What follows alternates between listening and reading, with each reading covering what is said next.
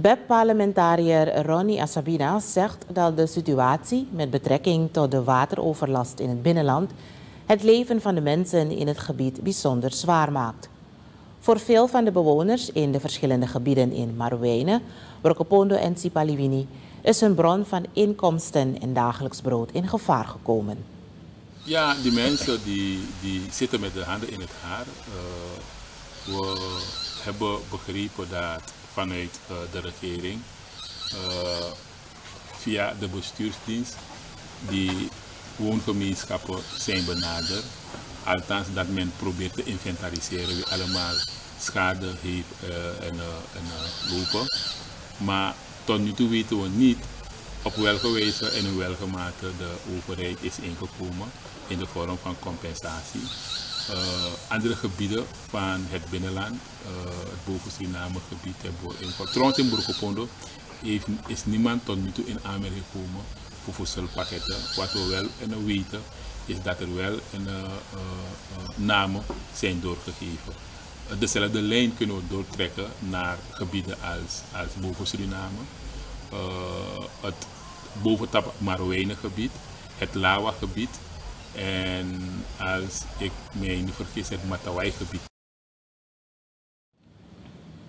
Asabina zegt verder dat tot in het afgelopen weekend vele mensen in het Brokopondo gebied en omstreken binnen Sipaliwini nog geen voedselpakketten hadden gekregen.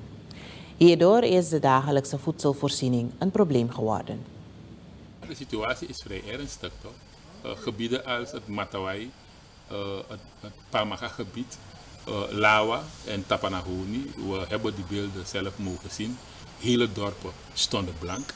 Ja, ik heb zelf mogen zien dat huizen ja, door uh, uh, het water ja, werd, en, werd meegenomen.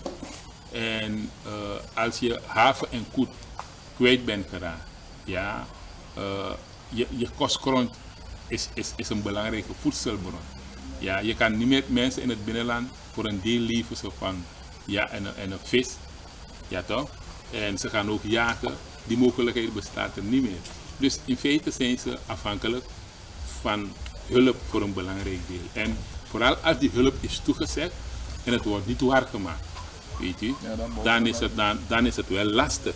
Dus uh, we roepen de overheid en vanuit deze plaats op om met de meeste spoed toch? Uh, de mensen die pijn, en, en pijn hebben, die mensen die in, in, uh, met leed zitten, dat die mensen uit hun benarde situatie worden gehaald.